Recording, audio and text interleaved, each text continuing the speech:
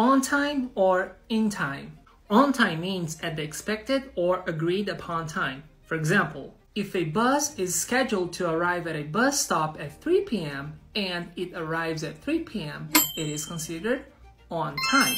In time, on the other hand, means having enough time to do something. For example, if you need to be at your friend's house at 3 p.m. and you arrive at 2:30 p.m., you are in time because you have enough time before the expected arrival time to do anything you need to do. Woo! Here's a way you can remember the difference. On time has to do with the clock, while in time has to do with having enough time.